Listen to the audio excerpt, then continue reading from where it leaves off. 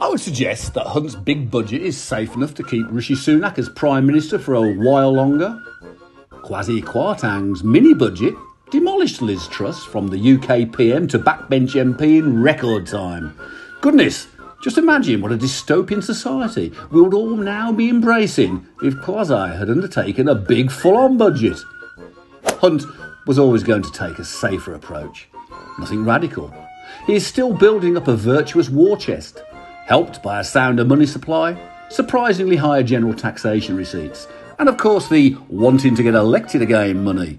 That naturally was only ever going to be dispensed closer to the next general election. In this week's budget, we saw the price of a pint held with a little stale joke from Hunt. British ale is warm, but the duty on beer is frozen. Oh dear.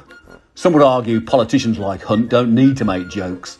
That is traditionally accomplished by other approaches.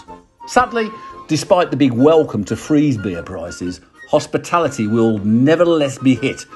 A savage slow burn, a desperately painful tax hike, as alcohol duty is now set to raise with inflation.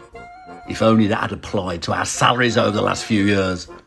But what is significant worry for our precious hospitality sector is the utter silence from Hunt on sectoral support for hospitality. I can only imagine Hunt was so pleased with his little beer frozen joke he felt any substance on or around hospitality wasn't needed. That's not great for confidence.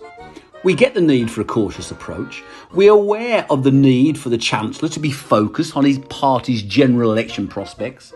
However, hospitality is substantially a British industry. Local products manufactured and consumed by hard pressed Britons. Most burgers and beer made in and consumed within the UK. A truly virtuous made in Britain delight.